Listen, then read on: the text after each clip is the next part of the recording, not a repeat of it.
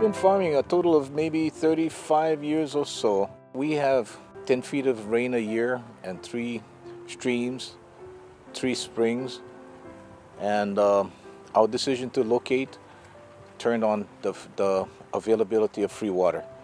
Back then, the water was free, and we knew that it was probably going to be free for a long time.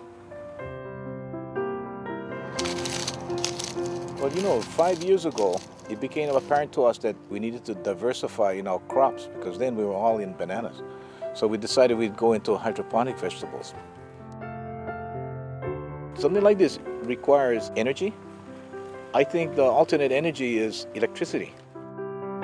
We're going to have less oil, it's going to be more expensive, and we got to get away from it. For us, it's pretty clear that we have got to do the things we need to do to get off this fossil fuel train.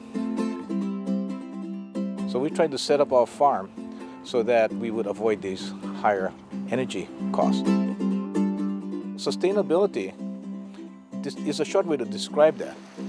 What we didn't realize was that there was a flume that was running through our property and that was authorized by the plantation many years ago started focusing on energy, all of a sudden we were like, holy smokes, there's this possibility of putting a pipe, run it downhill, put a turbine in it, make energy, uh, make a lot of electricity, and then your imagination goes wild.